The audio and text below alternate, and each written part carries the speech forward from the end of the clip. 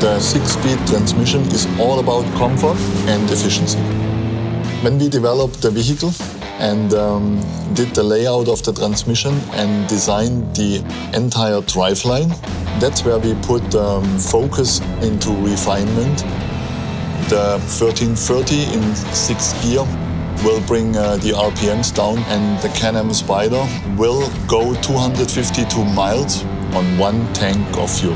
And of course it's more pleasant and it's more relaxed, but this is where you also have a very good uh, acceleration if you open the throttle. It's strong while still being comfortable.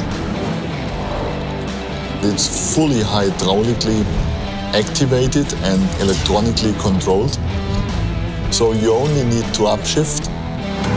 The vehicle will shift down whenever you stop. You are in first gear again.